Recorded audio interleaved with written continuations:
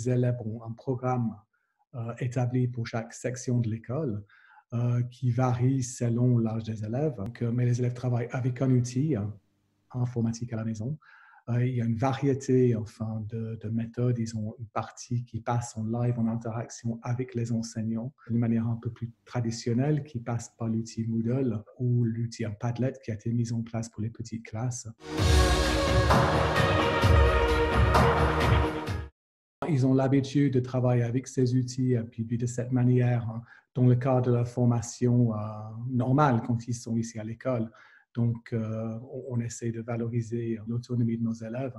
Donc, les outils qui sont actuellement en train et les méthodes qui sont appliquées actuellement à la maison font partie de la formation qui est faite dans le cadre des programmes ici à l'école. Donc, il y a quand même une certaine familiarité avec les outils puis, de la manière de travailler.